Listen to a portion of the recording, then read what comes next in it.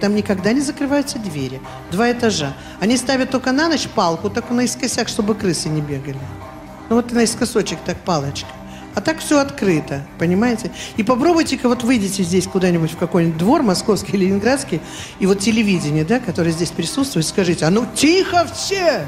Никто не выходит, выключите телевизоры. Что услышат? Сами знаете. А там говорят, тихо, никто не... И они так тихо, телевизоры выключили. Сидят, семочки берут, семочки. Сядут, наденут с утра люрикс, что-нибудь поблескучее. Ну, телевизионную эту киногруппу и сидят.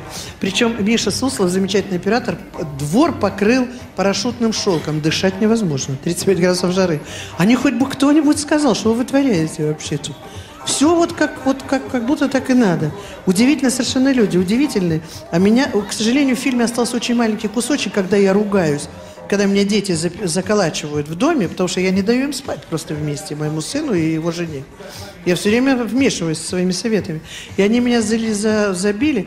И я вылезаю в форточку и кричу. Урсуля гениально говорит. Я говорю, Сергей Владимирович, что кричать? Он говорит, вы лучше меня знаете кричите.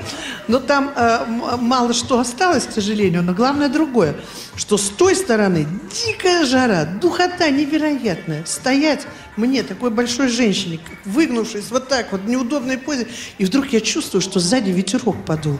Это те, кто живет, поставили вентилятор для меня. А еще поднесли эту подушечку под коленку. Понимаете? Вот это Одесса, вот это, вот это отношение к людям, удивительное отношение. Я, вообще там, вот толчая в Москве или в Питере, она раздражает. Прикосновение к чужому телу летом, да, липкому, оно раздражает. В Одессе этого нет. Мы приходим в дельфинарий, э, и оказывается, что ни одного билета нет. Человек, который нас привел, говорит, подождите сейчас. Он выходит и говорит, идите, все нормально. Я говорю, а что нормально? Подошли к двум родителям, которые купили каждый по два билета. То есть у них четыре билета. И сказали, послушайте, у нас тут артистка из Москвы с сыном.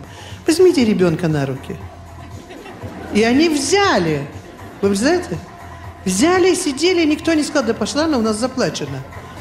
Ничего подобного. Вот это Одесса. А логика гениальная. Подхожу, говорю, послушайте, там продают арбузы и дыни, я у нее каждый день покупаю.